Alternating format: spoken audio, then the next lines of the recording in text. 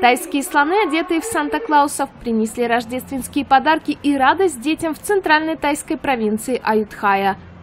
Наездники, или как их называют махауты, тоже в костюмах Санты, привели праздничную процессию в одну из средних школ.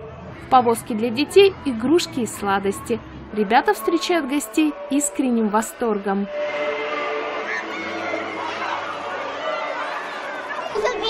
Я счастлива, мне нравятся слоны, потому что они издают громкие звуки.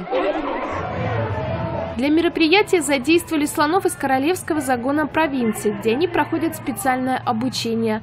Находится он приблизительно в 100 километрах от столицы Таиланда, Бангкока.